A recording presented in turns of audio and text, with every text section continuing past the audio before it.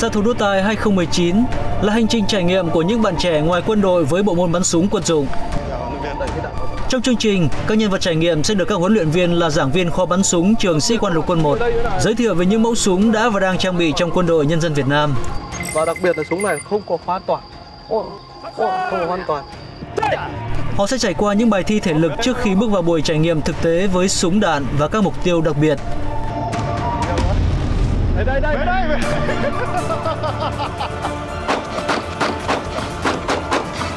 Sau cùng, các nhân vật trải nghiệm và huấn luyện viên sẽ chia thành hai đội để cùng đua tài thiện xạ.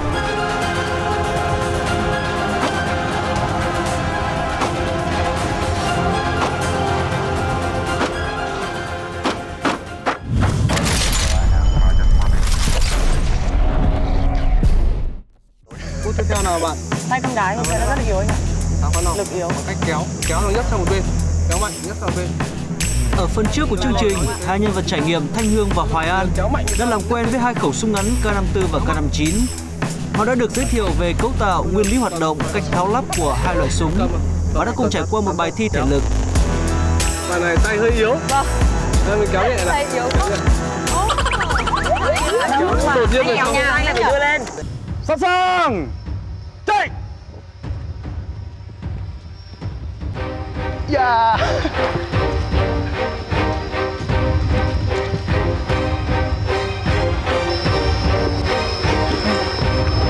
Đừng ngỏng đâu, đừng ngỏng đâu. Thấp người ông dùng Trong cuộc thi này, Thanh Hương với thể trạng tốt hơn đã hoàn thành nhiệm vụ trong thời gian 8 phút 26 giây.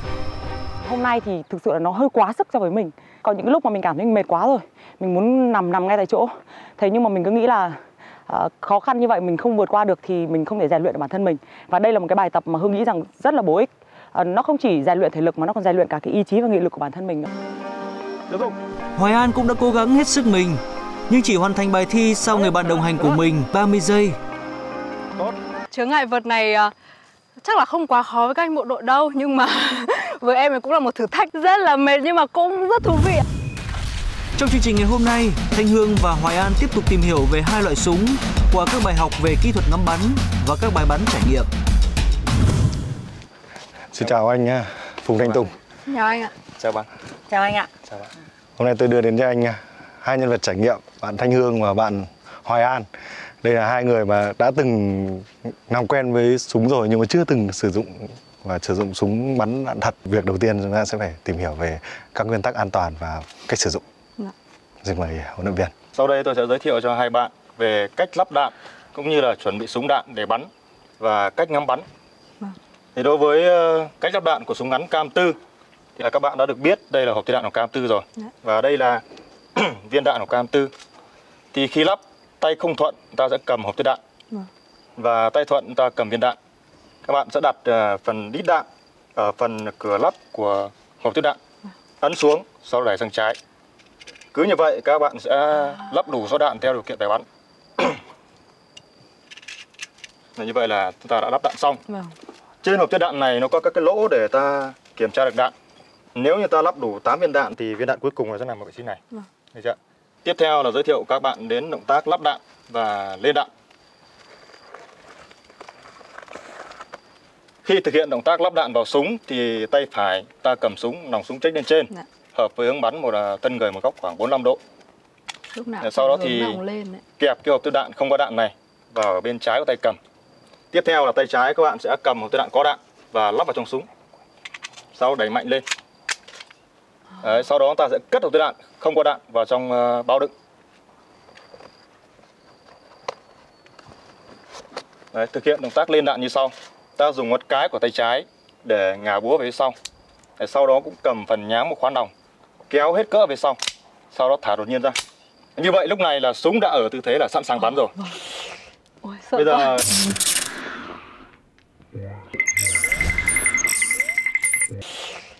sợ bây giờ để làm an toàn cho súng khi chúng ta chưa bắn mà cất súng vào bao đựng thì ta sẽ làm tác làm an toàn như sau. Tay phải các bạn vẫn nắm ở ngoài tay cầm. Tay trái nắm ở bên ngoài tay phải, dùng ngón tay cái để đỡ mặt búa. Sau đó dùng ngón trỏ tay phải bóp cò. Tay trái đưa búa về trước một đoạn ngắn. Sau đó thả tay cò ra. Và tiếp toàn. tục là đưa búa về trước thì lúc này súng đã ở tư thế an toàn người ta không bóc cò được Vâng. Dạ. và khi muốn bắn người ta chỉ việc dùng ngón tay cái này dương búa về phía sau và lúc này súng lại quay trở về là trạng thái sẵn sàng bắn Dạ. chắc để các bạn ấy thử luôn cho đỡ quên à, sau đây có mời bạn thử luôn Dạ vâng. chúng ta cứ xong lại là chúng ta thử lại đấy Đây ạ.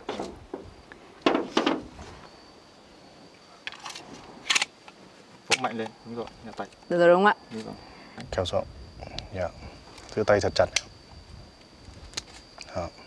Tiếp theo kéo là lên đạn kéo khoan nòng về sau để thả đột nhiên. Đột nhiên đấy súng đã sẵn sàng bắn. Đấy súng đã sẵn sàng bắn.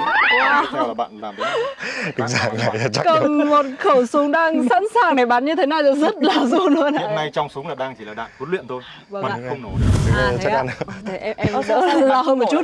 đạn huấn luyện. là đạn huấn luyện dùng để trong uh, quá trình huấn luyện thì đảm bảo an toàn. À, thật Ok, thế thì em yên tâm đứng ở đây rồi. em hạ em hạ búa yên hạ, tâm hạ hơn. búa theo là- hạ búa là vào an toàn. Giữ đúng không ạ? giữ búa búa Bóp bóp cò. chặt. cò thả búa thả búa Ơ, thả cò à, bóp chặt bóp bóp chặt xuống. bóp bao giờ nghe trượt khỏi búa rồi rồi Thả thả thả thả rồi. cò. Rồi. thả tiếp tục thả búa À, Chuẩn. bây giờ bạn bóp xem Rồi, Đấy, an toàn rồi ạ. Vâng ạ. Ui, Bấm bấm bấm. Rồi. xong chưa chưa trong nòng súng này đang còn viên đạn À vâng ạ. À vâng ạ. Cảm ơn có cái viên đạn ở trong đấy nhỉ? lúc lên đạn đạn nó Đạn nòng sẽ súng nòng súng thì nó sẵn sàng để khi mà À, búa đập dạ. lên nó Có sẽ nghĩa là đây là chỉ có nó một viên ra tay ạ? trượt là Đây. Ồ. Vâng ạ. Vẫn còn một viên ở trong à? Chuyên nghiệp. rồi khi lên đạn xong là trong nòng súng sẽ có viên đạn đấy để sẵn sàng là bắn đạo cụ thì nó cũng giống giống như nhỉ rồi tiếp theo là dương Chứng tỏ mô hình rất là dương giống búa ấy. thì kéo nó nhẹ bạn phải dương cái Dương- búa này lên thì kéo nó nhẹ Đây là anh. hạ xuống Dạ. Rồi. Tiếp theo là làm an toàn. Giữ cái búa. Tốt. Như thế là nổ bắn rồi. Là- Là xong đấy là xong đấy nếu anh. như thế mà đạn thật là đã nổ rồi. Giữ cái búa. Tốt. Tốt. Như thế là đã nổ bắn rồi. Là xong đấy là xong đấy anh. nếu như thế mà đạn thật là đã nổ rồi. Các bạn búa là Thì là em phải giữ chặt Giữ chặt. Giữ chặt. mặt búa có. cò và thả tay cò tiếp theo là thả búa tiếp lúc này bạn bóp cò là sẽ không chạy được À. đúng chưa ở trong phim thì mọi người hay thấy là cứ sở hữu một khẩu súng là có thể đe dọa bất cứ ai nhưng mà mình sở hữu súng nhưng mà không biết sử dụng thì còn nguy hiểm hơn Vâng. vì đối phương hoàn toàn có thể đoạt súng của mình hoặc là chính khẩu súng của mình gây nguy hiểm cho Vâng. cho bản thân người sở hữu không có ai mà một Đó. mình mình cầm súng thôi Đó. mà mình cũng Rất không giữ được an toàn cho mình Thế- thì nó cũng nguy hiểm đến mình. Và chúng ta sẽ sang loại súng thứ hai đó là khẩu K59 À, tiếp theo là với súng cam9 thì về cái hộp tiếp đạn của cam9 và cách lắp đạn thì cũng tương tự như là súng ngắn cam4. Thực hiện động tác lên đạn thì riêng với súng ngắn cam9 thì nó có thêm bộ phận khóa an toàn. Thì ở đây các bạn à, quan sát ở đây chính là vị trí khóa an toàn của Dạ. súng. À, khi ta muốn lên đạn thì dùng ngón tay cái này gạt cái then an toàn xuống dưới. Dạ, gạt then an toàn xuống dưới. Vâng. Sau đó dùng ngón cái tiếp tục là ngả búa về sau. Sau đó ta sẽ cầm phần nhám này kéo như cam4. Dạ. Cầm chỗ này nhé các bạn à, chú ý là không cầm lên cao quá, nếu không may bị cướp cò thì không bị sát thương không hưởng. Dạ vâng đúng rồi. Cầm về phía sau này. Kéo mạnh về sau, sau thả đột nhiên ra. Đấy, như vậy là trong nòng súng đã có đạn và súng sẵn sàng bắn. Vâng ạ. Tiếp theo là ta sẽ khóa an toàn được súng. Gạt lên trên. Vâng. Đấy, như vậy là súng đã sẵn sàng bắn. Dạ. Như vậy là giới thiệu xong với các bạn về cách ta lắp đạn và lên đạn. Dạ. Bây giờ giới thiệu các bạn về cách ngắm bắn. Thì đối với cả hai khẩu súng này, khi ta ngắm bắn thì đều như nhau. Đấy, khi ngắm bắn thì người ta phải lấy được cái đường ngắm cơ bản. Nó bao gồm có 3 điểm. Dạ. Một là từ mắt ta, tiếp theo là đến đỉnh mép trên của khe ngắm. Vâng. Điểm tiếp theo ta phải nhìn vào là chính là đỉnh đầu ngắm hay nói là hay gọi là đầu ruồi ấy. À. An còn nhớ giờ học quân sự của mình không? Có ạ, em Nội dung này ờ, khả năng các bạn đọc bắn AK rồi Em có không? nhớ mang má Đấy. một chút rồi nhưng mà mình bây nhớ một giờ chút thôi ạ. Lát Bây giờ thực Thì hành nói rằng là cái cái phương nhiều. ngang là nó sẽ bằng với cả cái đầu đầu Rồi ruồi. rồi. đúng rồi khi mà ta nhìn đúng là nó thành như một chữ chữ E nằm ngửa lên Đúng rồi, đúng rồi. đấy Các bạn đã nắm được một sơ qua về lý thuyết rồi đúng không ạ? Vâng, cuối cùng cũng đến giây phút là được bắn thử rồi đấy ạ. Để thực hiện một phát bắn trúng đích, xạ thủ phải lấy được đường ngắm đúng. Muốn lấy được đường ngắm đúng, xạ thủ phải lấy được đường ngắm cơ bản là đường thẳng tưởng tượng trong không gian, xuất phát từ mắt xạ thủ đi qua chính giữa mép trên khai thước ngắm tới chính giữa mép trên đỉnh đầu ngắm. Đường ngắm đúng là đường ngắm cơ bản gióng vào điểm ngắm với điều kiện mặt súng phải thăng bằng. Lắp đạn. Bạn lấy súng tay phải dương súng lên trên tay trên trên rồi vỗ lên dương búa dạ, kéo khoan nòng rồi lên rồi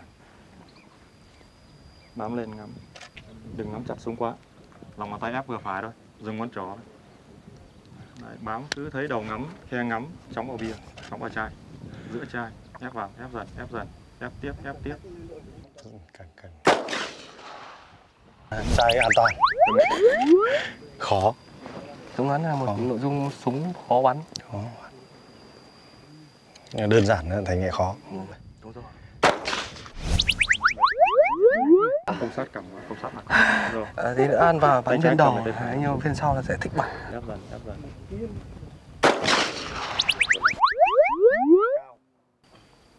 xúc quay về trước đường quay liên tục Đường đạn đang ăn, ăn cao. Ngắm cao, ờ, ngắm thấp xuống một chút. Cho đẩy trái. Cứ mạnh. Khó Cứ thế là càng lâu càng nhá. Đưa lên là súng nó phải nó phải xoay, nó phải rung, nó rung nó là bình thường. Nó rung mình ép, nó rung. Lương theo Nó cái dao động mình nó ép, nó rung mình ép, mình cứ thế nó rung mình ép, ép bành. ép. Không hề dễ mà tí à. Càng giữ tay lâu để lấy được càng run. Đang đi đâu ấy nhỉ? Khó lắm. Trời ơi.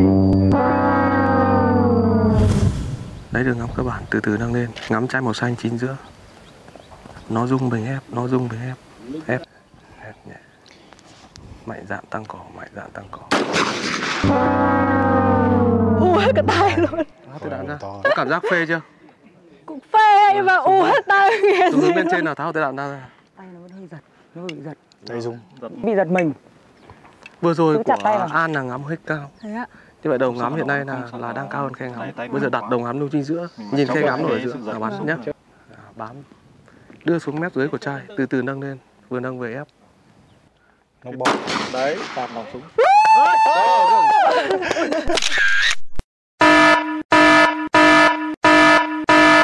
nếu trong súng mà có nhiều đạn mà phát quả đấy rất là nguy hiểm Nguy hiểm. sorry mọi người Rồi. Em ơi bắn xong có phải giữ nguyên súng gương trước nhá. vâng ạ Nó đấy tạt nòng súng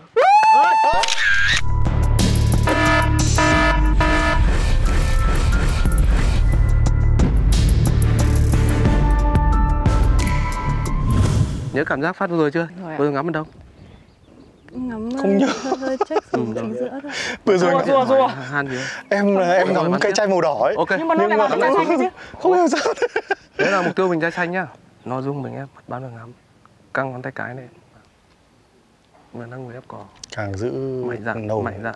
tay càng rung này nhá. Rồi đặt xuống Càng giữ đâu. Lấy lên đường ngắm. không bị mất an toàn khi bắn xong là cũng co Bình thường mỏi. Vừa nâng vừa ép. Này, trong đến cái chai rồi bắt đầu Vừa nâng vừa ép. phải Ép mạnh, ép, ép, ép ép, dần. ép, một chút vào Quá lâu.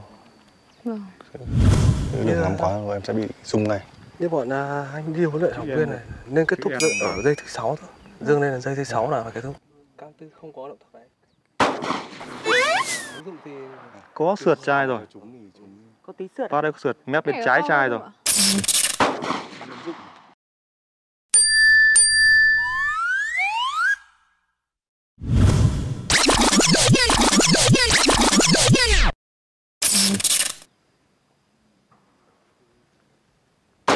Số. wow Thông thường người ta vẫn cho rằng là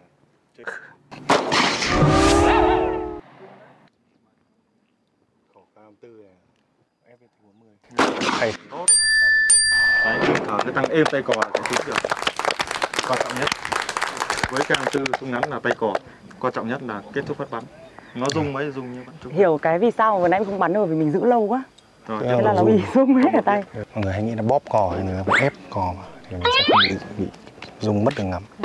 như bọn mình gọi ép nhưng mà mình bọn mình thao hay tác là tiến nhích rồi. Đã lên đạn nhích rồi. nhích nhích vỗ nhích, mạnh như thế là lên đạn. nhích chứ gọi là bóp. Đấy nhích nhích nhích. Nhưng mà thấy tự nhanh đưa xuống này. Tiến lên là em đưa xuống mép dưới tức là cái bia cái cái chai nằm trên mặt bàn như này. Lấy đường ngắm ở cái mép dưới của chai này. Đưa lên. Lại người mình đưa lên mình ép mình đưa lên ép cứ đưa lên là ép nhé khoảng giây thứ sáu là đẹp nhất. Wow. Bạn ba phát rồi sau Siêu quá. Biết cách rồi đúng không? Em áp lực quá. Súng này bắn khó hơn nhá. Đưa đường ngắm cơ bản nó đít thằng trai. Rồi ạ. rồi từ từ nâng lên vừa nâng vừa ép. Mạnh dạn lên. Tốt tốt. Đặt xuống xuống. Bắt đầu điện đúng ngay rồi. Nắm chắc tay phải. Rồi nắm chắc tay phải chứ không phải lên gần nhá. Ờ. được là phải thôi. Thật, ấm mãi mà nó không vào. Ừ cứ mạnh dạn đi cò nó dài. Mạnh dạn ép cổ trai rồi Wow Ôi kinh nhỉ à Tại đây, lại phải bắn được như thế hả? À đây sao em lại ngắm vào chai đỏ? Bắn vì mục tiêu của em là chai xanh nhá. Em ờ, không biết là mình phải bắn chai xanh tiếp tục à. đi nào. Bắn chai nào chả được. Rồi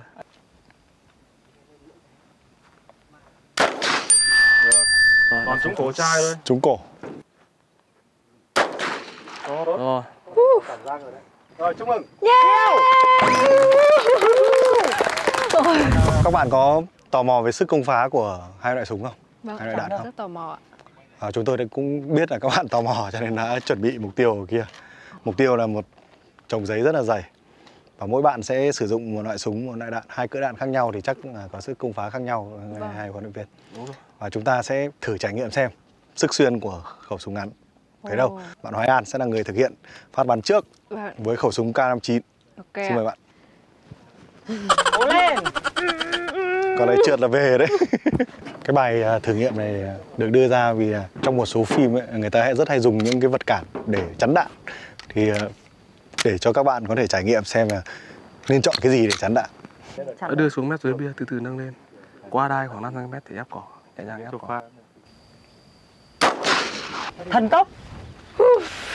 Quá tuyệt vời. Nhưng em cứ có cảm giác là cái súng này nó kêu nhỏ hơn cái súng kia hay sao?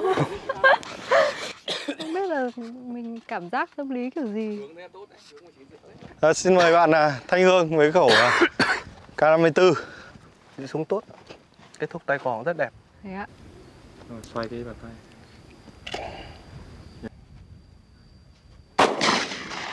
Ngay phía trên. Wow.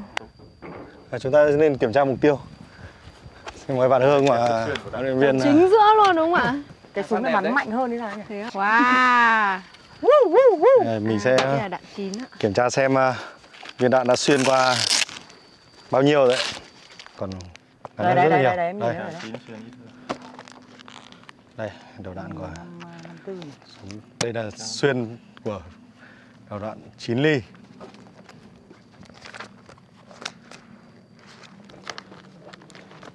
À, và đây là độ dày xuyên qua của đầu đạn 7,62. Bảy- Đầu đạn 7,62 xuyên à, tốt gấp 3 lần. Ui vậy ạ nhiều cảm Thường bình thường em chơi game ngoài thì đầu em đạn nhỏ hơn cái đạn và này cái đạn này à, thậm chí là cái cự ly bắn của cái đạn 7,62 nhân 25 này khi mà sử dụng cho khẩu à, súng tiểu liên à, Barbosa thì cự ly bắn hiệu quả có lên đến 100 mét. Wow Đó. Bình thường là em chơi game là em hay ờ, phải đi nhặt mấy cái đạn này bây giờ mới được tận mắt chứng kiến và thấy được là cái làm kỷ niệm nhá sức công phá của cái đạn nặng này. thế đấy anh ạ Những cái à, cái đạn mà em hay là nhặt nặng đấy ấy. là đạn 7,62 nhân Là vẫn còn 39 nguyên không anh? dành cho súng à, súng à, tiểu liên AK À, hay vâng. còn gọi là súng trường tấn công AK. Vâng. Còn đây là cỡ đạn 7,62 nhưng mà nguyên. chỉ nhân, nhân 25 sử dụng cho súng tiểu liên Papasa hoặc là súng à, K54. ngắn K54. À, kéo vó vẹo bọ luôn Nó rất khác nhau. Cũng là cỡ đạn 7,62 nhưng còn cỡ đạn 7,62 dành cho súng trường bắn tỉa À, chẳng hạn thì dạ vâng thì 7,62. cự ly còn xa hơn 7,62 nhân 54 dùng cho súng máy và súng trường bắn tỉa. À, nếu mà phải phải phải che chắn che chắn bằng giấy thì này, phải một bằng tập. giấy thì chúng ta sẽ phải một tập như này. tập nữa. Wow. À vâng ạ. Có nghĩa là có một tập giấy này và tập giấy súng dày bắn này. không sợ bị xuyên đúng không ạ? Mục tiêu giấy này thì sẽ không thể hiện rõ sức xuyên phá của của viên đạn đâu và chúng tôi đã chuẩn bị cho các bạn những mục tiêu kim loại Wow. và các bạn sẽ thử ngay bây giờ Vâng. cảm giác phấn khích hơn rất nhiều. Tuyệt Chúng ta vời. thử. Các bạn đã nhìn à, hai phát đạn của chúng ta xuyên vào mục tiêu giấy rồi đúng không ạ? Vâng ạ. Bây giờ chúng ta sẽ trải nghiệm vào mục tiêu khó hơn, phấn khích hơn và đó là khả năng xuyên phá với mục tiêu là kim loại. Vâng. Ở kia chúng tôi đã chuẩn bị một mục tiêu đấy là một trụ thép và các bạn sẽ thử xem viên đạn Trông có của vẻ- súng ngắn có thể xuyên vào hay không. Rất là chắc chắn đấy ạ. Hai huấn luyện viên sẽ hỗ trợ các bạn. Thế bạn. Vâng ạ.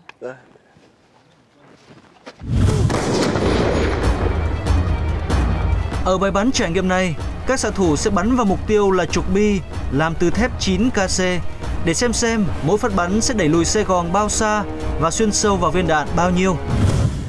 Lấy súng. Đổi tư thế ạ. Lấy súng. Rồi, lấy súng đi. Xe đã dịch chuyển là 9 mm đi.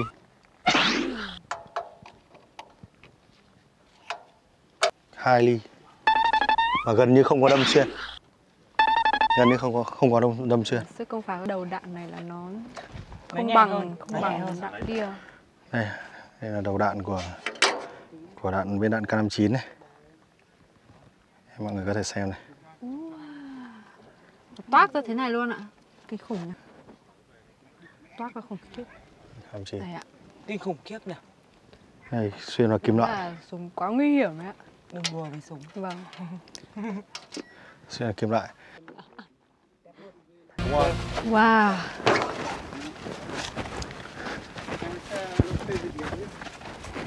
À, Xe sẽ dịch khoảng mấy phân Tùng? Có lùi. có xe có Bắn là lùi cái xe này luôn ạ. Wow. xe xe dịch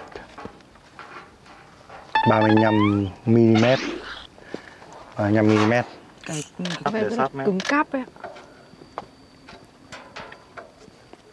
trụ đã dịch chuyển 1 cm Lúc đầu phải Wow. để trụ sát rồi. à, sát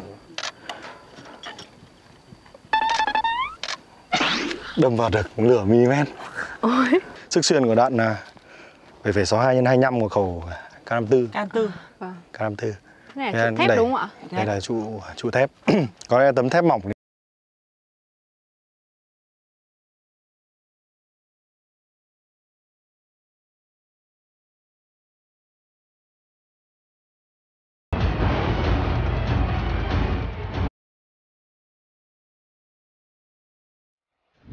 Tại sao ờ, kể cả động năng và và sức xuyên của đạn 9 ly thấp hơn đạn 7,62 x 25 ấy?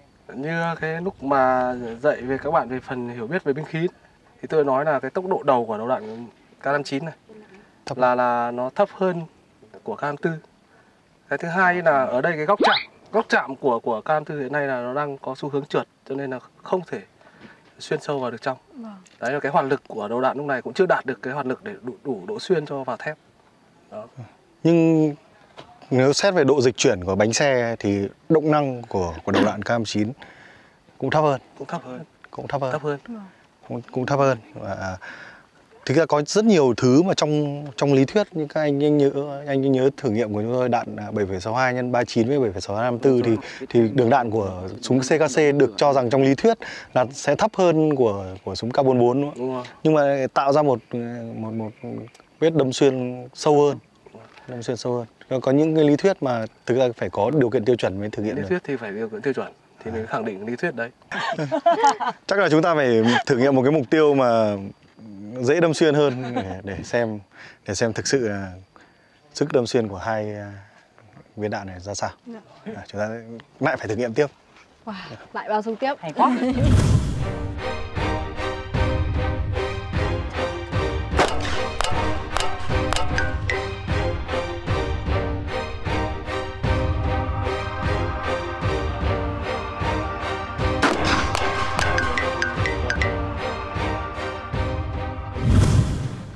rồi, có một điểm là cũng gần gần trúng tâm luôn. Chính giữa luôn. Vâng. Đâm xuyên luôn. đạn 7,62 Wow. Đâm được gần hết 7,62 chảo đấy hả? Sáu chảo. Ba bốn năm sáu. Wow. Bảy luôn này anh, bảy luôn nhưng mà không xuyên. Sức công Chảo phá dã man đấy ạ. Đúng là phải nhìn cái chảo này mới mới Kinh nhờ, kinh khủng khiếp nhỉ. hiểu được là nó khỏe thế nào. Thế nên lúc nào mà bị anh ngắm bắn là đừng có lấy chảo ra để đỡ. Nó sẽ chảo. Mình nên lấy một tập giấy dày thì hơn đúng không ạ? Đây là lý do mà cỡ đạn 7,62 à, nhân 25 khi mà được sử dụng cho súng à, súng tiểu liên ấy, thì là được đánh giá là một trong mẫu tiểu liên thành công nhất trong thế chiến. Rõ ràng là tính năng kỹ chiến thuật thì tính chiến đấu của khẩu à, K54 với đạn 7,62 nhân 25 thì có vẻ là Uy lực hơn. uy lực hơn, uy lực hơn. Nhưng mà rõ cái gì ràng- dễ là cũng không rõ ràng chiều dài nòng súng ảnh hưởng rất nhiều và và khối lượng thuốc đạn cũng ảnh hưởng rất nhiều đến Đúng rồi. cái sức xuyên phá của thực tế đạn. là cái động năng tích lũy cho đầu đạn ấy, nó ở trong nòng súng nó càng được nhiều thì cái sơ tốc đầu đạn khi ra khỏi nòng súng nó càng lớn và hoàn lực của nó càng lớn thì sức xuyên của nó càng lớn hơn Chúng ta đã qua những cái nội dung trải nghiệm rồi các bạn cảm thấy sao? Rất là hào hức Yo mốt Hào hứng kinh khủng ạ Không nghĩ được là ngày hôm nay mình đã thực hiện được cái thử thách bắn súng thật Và bắn còn rất nhiều lần nữa Nhưng đây đây mới này- chỉ là trải nghiệm thôi. Vâng Chúng ta còn phần thi đấu nữa. Hai huấn luyện viên sẽ là người chọn đội của mình để bước vào những phần thi đấu của chúng ta kịch tính hơn. Dạ ok Các bạn sẵn sàng chưa? Sẵn sàng rồi ạ